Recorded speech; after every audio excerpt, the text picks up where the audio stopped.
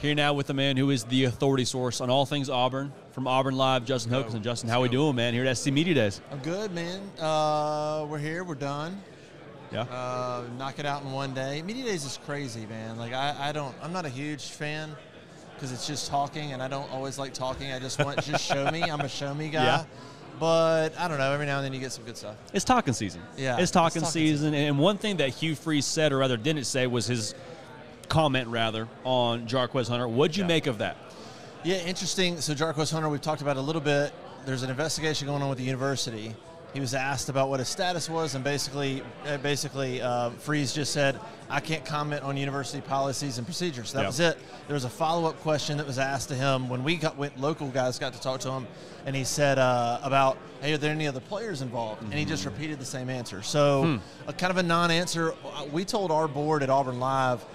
I've been hearing that he should be available August 1 to practice. Hmm. So I think that's the case. I think just until that point happens, he gave that answer. So I don't know that that answer is any more concerning than it was, but we'll find out here in a couple weeks. Probably not trying to make a headline or, or lean too far in other Yeah. ways. I mean, that makes sense to, to a degree at SEC Media Days to, to Yeah. answer it And when you're talking about university policies and invest internal investigations going on, until they put out a release, you don't say a word. Makes Yeah. sense. But talking about football, he made some comments about his play calling at Liberty, and he talked about kind of maybe not being on his game as much as he would have liked to. Yeah, yeah. What did you make of that and where he stands right now with Auburn in 23? Yeah, I thought that was a pretty transparent comment um, when he was asked about who's calling plays. It's kind of the same thing that Jimbo Fisher and Bobby Petrino are getting asked about, or Fisher's getting asked Yeah. about, right?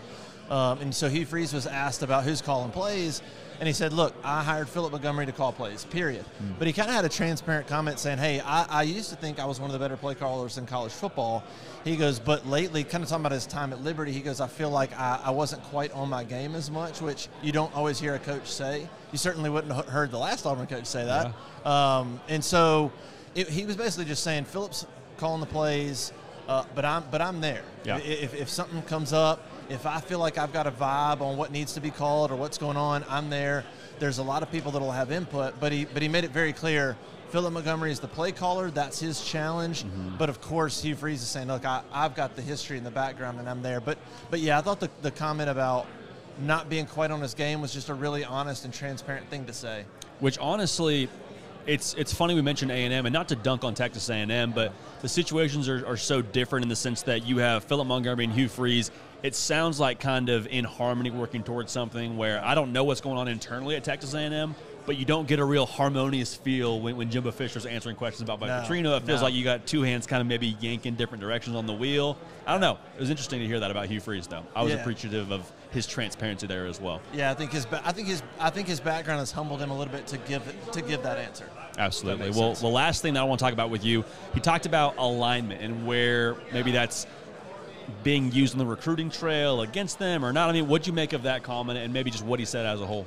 Yeah, we, we, we spoke to him, and, and, and, and I don't know that he said this on the podium. The guys that cover Auburn got a chance to speak to him outside of the podium. I don't know if it was asked on the podium, but he was asked when we were speaking to him. We said, "What's the what's the biggest surprise since you've arrived at Auburn? Like, what's just caught you? You know, the, what's what's resonated the most?" And he said, "You know, he goes, look, I don't want to really get negative." He said, but the roster, the state of the roster was probably one of the most surprising things. He goes, it's just not where Auburn should be Yeah. in terms of a roster. And then, in the same vein, in that answer, he said, recruiting's been more challenging than I thought. And he kind of alluded to, you know, maybe a perception of Auburn before he got there, or maybe some things that happened on the recruiting trail or uh, that, that, that aren't happening now, like in a negative recruiting sense. Um, and one of the things he talked about was he said they had gotten asked, some, some people had said to them, hey, you guys don't seem like maybe you're that aligned. And he was like, we just got here. We, he, you know, we, we couldn't be more aligned. He's like, we have a new president who hired a new AD who hired me. Yeah. He goes, we couldn't be more aligned. So he addressed the alignment thing, but he also seemed to say there's been some maybe some some things they've had to battle recruiting that, that maybe he didn't anticipate. Um, and so I thought that was interesting because you figure you him and he, they'd roll in and start, and they've done well in recruiting, mm. but maybe there's still a little bit of a hangover, some still some things lingering from the past couple of years that they're having to address off the field to show that their program is headed in the right direction. It's interesting. It's like the only way we could potentially not be aligned is if there was issues on the field. And as far as I know, Hugh Freeze currently undefeated at Auburn. Yeah, he's undefeated. Never lost a game. Never lost a game. So all signs exactly pointing in the right yeah. direction. Yeah. Good deal. Well, that's Justin Hokanson over at Auburn Live. Get you a subscription.